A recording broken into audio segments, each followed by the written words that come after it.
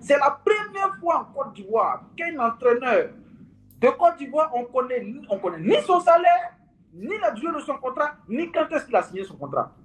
C'est la première fois. C'est une très grande surprise dans le monde entier. Aujourd'hui, quand on critique, c'est pas parce qu'on est contre X ou Y, on critique parce que tout le monde aime la Côte d'Ivoire, tout le monde veut le bien de la Côte d'Ivoire. Donc, on apporte des critiques pour que les choses puissent s'améliorer pour le foot ivoirien.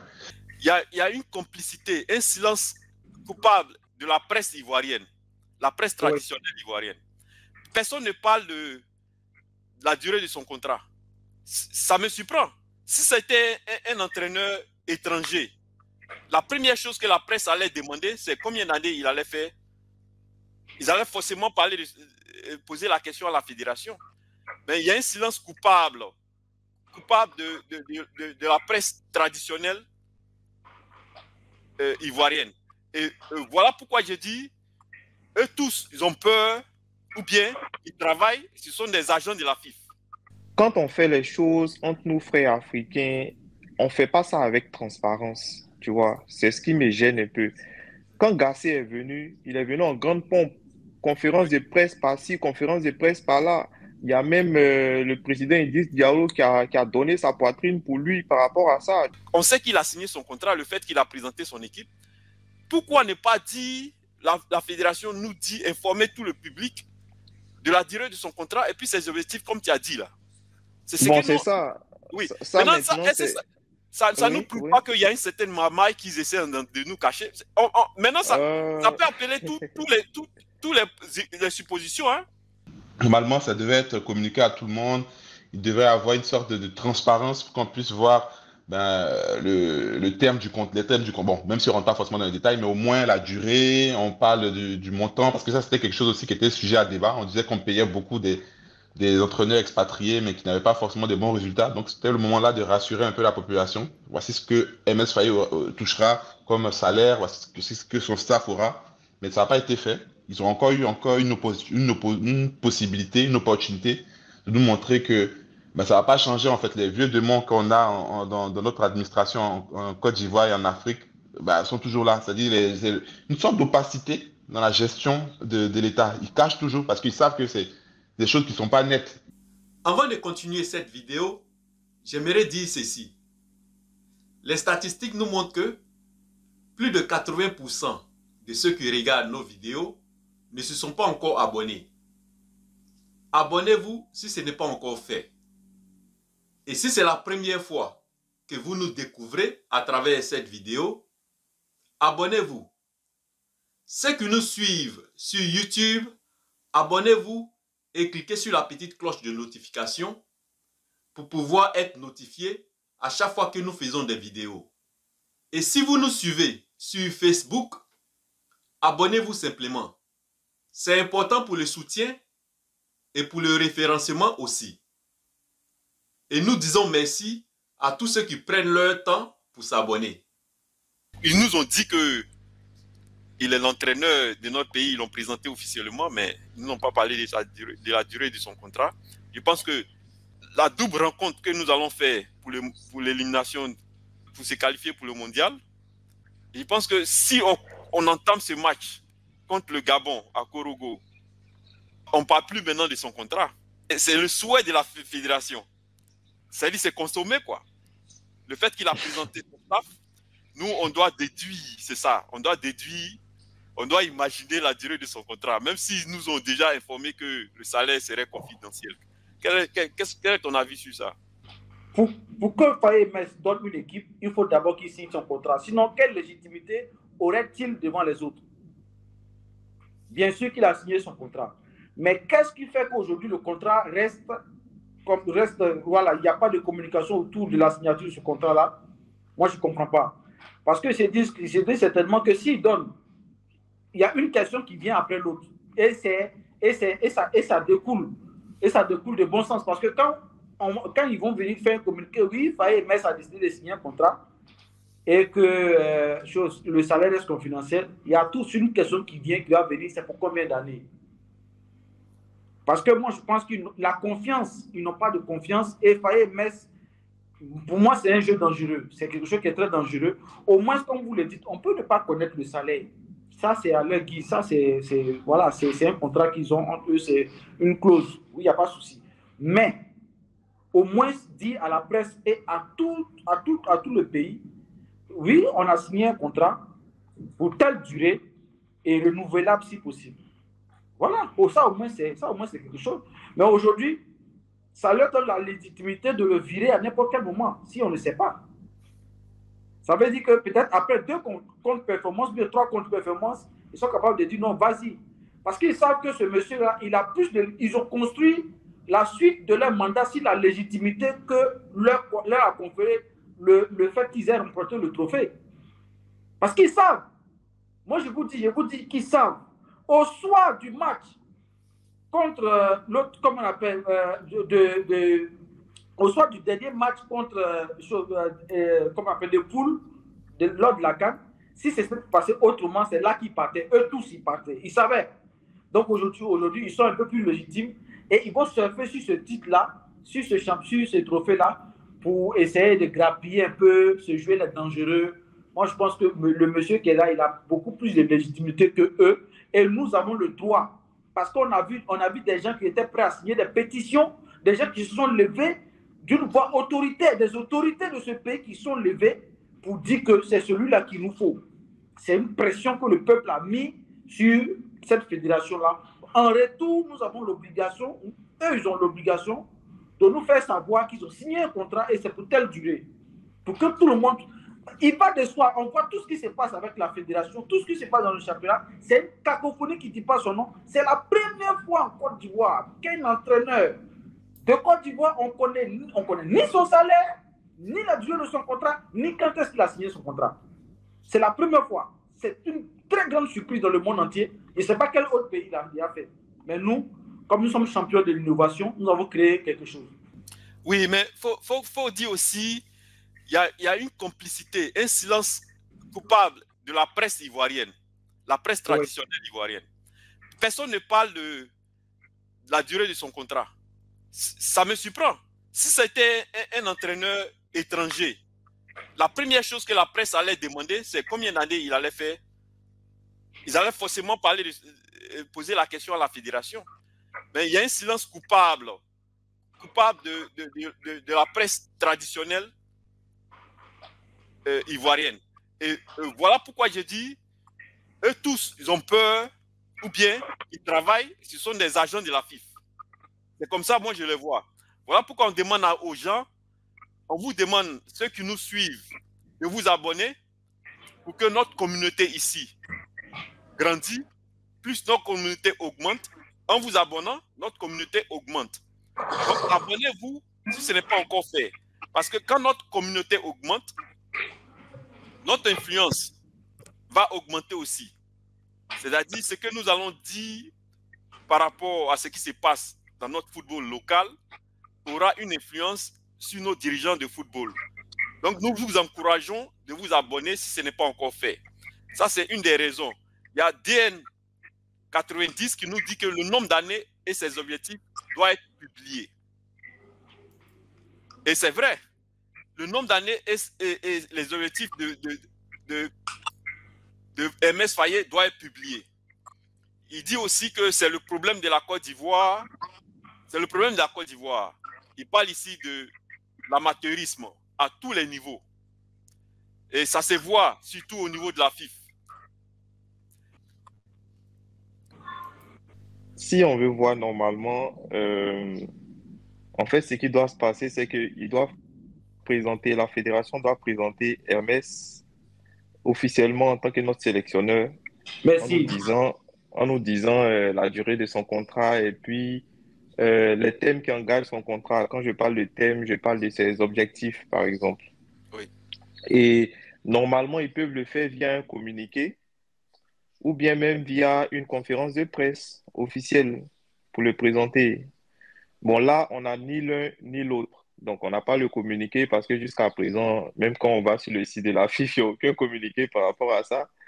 Et bon, pour la conférence de presse, on ne sait pas. Peut-être que euh, lors de nos les deux matchs euh, internationaux, peut-être qu'ils le feront, sait-on jamais. On va, disons qu'on va prendre notre mal en patience.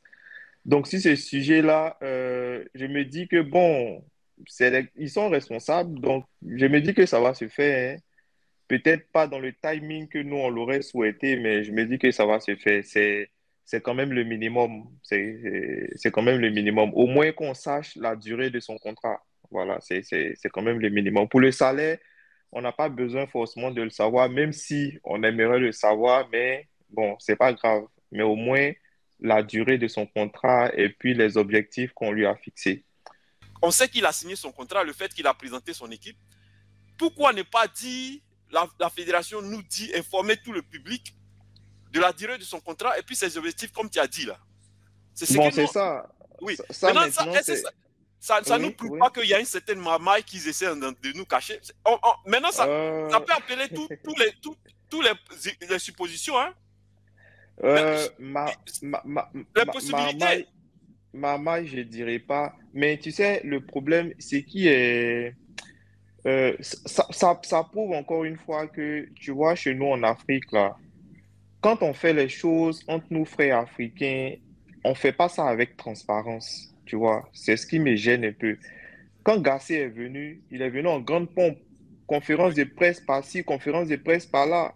Il y a même euh, le président Idriss Diallo qui a, qui a, donné sa poitrine pour lui par rapport à ça, tu vois. Et on avait tous les éléments, on avait son salaire, euh, on avait la durée de son contrat, on avait tout. Si tu tapes sur le net, tu vas voir. Mais aujourd'hui, pour faillir, on cherche, on ne voit pas. Et imagine-toi que quelqu'un qui vient de remporter une carte, il est venu, il est venu, on l'a parachuté. Moi, je peux dire, il est venu en catastrophe, il a sauvé les meubles on lui donne un contrat de deux ans. Ouais. Ça veut dire qu'ils savent pourquoi ne pas faire la conférence de presse, parce qu'ils ils, devaient répondre à beaucoup de questions. Ils devaient répondre à beaucoup de questions. Qu'est-ce qui vient sauver les meubles? Et aujourd'hui, on joue un match même face à quel pays là On a vu ce qu'il est capable de faire avec sa propre liste. On a vu ce qu'il est capable de faire. On lui donne un contrat de deux ans. Et puis, ce n'est même pas annoncé par un média ivoirien, c'est un média étranger. Bon, pouce. Quand même. Bon, pour ça, pour ça eh ben, euh, par rapport au contrat de deux ans, généralement, c'est ce qui se fait un peu partout. Hein. Généralement, c'est ce qui se fait un peu, un peu partout. Surtout, même s'il a gagné la Cannes, normalement, on a deux échéances très importantes à venir. Il y a la Cannes qui arrive et puis il y a le mondial. Donc, on lui donne deux ans. Même s'il a gagné la Cannes, c'est quand même un novice. Donc, ils vont donner deux ans pour essayer de voir un peu ce qui se passe avec ça et puis après on le prolonge. Généralement c'est comme ça, c'est deux ans. On ne va pas forcément euh, donner un contrat de cinq ans ou un contrat de quatre ans. Généralement c'est deux ans pour les Axel, Axel, Axel, je pense que euh, on n'a pas, on n'a pas, on n'a pas, on n'a pas, on n'a pas un problème avec le nombre d'années euh, euh, de, son contrat. Hein. On n'a pas un problème avec la durée de son contrat. Nous. Non, c'était par rapport à ce qu'Ebet a dit. C'était juste pour lever l'équivoque, c'est tout. Sinon, il n'y a, a, pas de problème. Donc, euh, DN90, est-ce que tu nous entends? Ah ouais, je vous entends parfaitement. Bonsoir à tous. Très bien, très bien. Et vous? Oui, ça va très bien. Et, et c'est toi qui nous as confirmé dans le chat qu'il y a un média français qui a déjà publié que la durée de son contrat, c'est deux ans. Est-ce que tu peux nous confirmer ça? Bien sûr. C'est une information qu'on n'a pas encore reçue, même en Côte d'Ivoire. Aucun média n'a parlé de la durée de son bah, contrat. Je vais, je vais essayer de, vous, de, mettre le lien dans le chat. En fait, c'est 20 minutes qui a publié ça. Ils ont, mis, ils ont relayé juste que euh, après, euh, après la victoire de la Cannes, il y a, y a, eu un, je sais pas, un point de presse où, euh, comment il s'appelle, le président Idriss Diallo ben, il, a, il, a, il a présenté le trophée en fait à ses sponsors. Et à cette occasion, il a, il a annoncé, il a confirmé que euh, MS Faye aurait un contrat de deux ans renouvelable. Donc c'est euh, ce que le, le, média a dit. Après, je, je, vais mettre le lien dans le, dans le chat, mais je pense que ça, ça dénote un peu euh, de l'amateurisme. Si c'est vrai, en tout cas, ça dénote un peu de l'amateurisme parce que généralement, après tout ce qui s'est passé en Côte d'Ivoire, avec tout ce, ce parcours, franchement, il méritait que les choses soient faites dans, dans, dans les règles de l'art, quoi. C'est-à-dire de manière solennelle, on, on annonce, on, tu vois, on, le, grandit un peu. Euh, je ne sais pas pourquoi ils l'ont pas fait. Normalement, ça devait être communiqué à tout le monde. Il devait avoir une sorte de transparence pour qu'on puisse voir ben, le, le, terme du compte, les termes du compte. Bon, même si on rentre pas forcément dans les détails, mais au moins la durée, on parle du, du montant, parce que ça, c'était quelque chose aussi qui était sujet à débat. On disait qu'on payait beaucoup des, des entraîneurs expatriés, mais qui n'avaient pas forcément des bons résultats. Donc, c'était le moment là de rassurer un peu la population. Voici ce que MS Faye euh, touchera comme salaire, voici ce que son staff aura. Mais ça n'a pas été fait. Ils ont encore eu encore une, une, une possibilité, une opportunité de nous montrer que ben, ça va pas changer en fait les vieux démons qu'on a dans, notre administration en, Côte d'Ivoire et en Afrique ben, sont toujours là. C'est-à-dire une sorte d'opacité dans la gestion de, l'État. Ils cachent toujours parce qu'ils savent que c'est des choses qui sont pas nettes. Il y, a, de la corruption, il y a des, détournements, donc c'est pour ça qu'ils ne veulent pas être très euh, transparent là-dessus. Donc ça, c'est ce que j'ai vu. Et puis bon, pour revenir un peu sur la partie des deux ans, je suis pas forcément d'accord. Je sais pas si c'est Axel qui l'a dit ou c'est une autre personne. je suis pas forcément d'accord avec le, la durée de deux ans. Je pense qu'il faut s'inscrire dans la longévité. Dans, euh, pas forcément donner un contrat de 10 ans ou 7 ans, 8 ans. Non, non, mais au moins, je sais pas moi, 4 ans ou euh, 5 ans, au moins, il a l'opportunité parce qu'il y a combien de matchs dans les compétitions internationales? Il n'y a pas beaucoup de matchs. Euh, quand tu regardes les entraîneurs, là, la plupart des entraîneurs qui ont gagné des, des compétitions, c'est les entraîneurs qui ont fait 2-3 compétitions, 2-3 cannes euh, quand tu prends euh, le, précédent coach, euh, le coach sénégalais, c'est pas sa deuxième canne, c'est pas sa première canne. Il en a fait plusieurs. Il a eu l'opportunité de placer un système de jeu, de voir comment ses équipes évoluent, etc. Mais en Côte d'Ivoire, malheureusement, on constate qu'après chaque canne, on a un nouveau, coach. Ils, font ça parce que derrière, il y a des contrats, ils négocient, ils gagnent de l'argent, donc c'est une possibilité pour eux de se, de se rendre la poche. Et ça, c'est pas typique au, on va dire au staff actuel tous les staffs précédents ont fait la même chose. Il faut qu'on essaie d'évoluer, passer un cran au-dessus, et puis euh, que notre football puisse s'améliorer. Aujourd'hui, quand on critique, c'est pas parce qu'on est contre X ou Y, on critique parce que ici, je pense, hein, tout le monde aime la Côte d'Ivoire, tout le monde veut le bien de la Côte d'Ivoire, donc on apporte des critiques pour que les choses puissent s'améliorer pour le foot ivoirien. Euh... Ouais, vas-y. Oui, Axel, tu voulais dire quelque chose? Parce qu'il y a, y a Théo euh, Coco qui dit que. Euh, euh, Axel, rapidement, il y a Théo Coco qui dit qu'il y a un manque de transparence sur la durée du contrat. Et, voilà pourquoi ils veulent pas officialiser ça. Oui, Axel, je te, Oui, je voulais, compléter rapidement. En fait, euh, le président de la FIF, il est élu 4 ans. Là, Idriss Diallo, il est à mi-mandat, donc il lui reste 2 ans.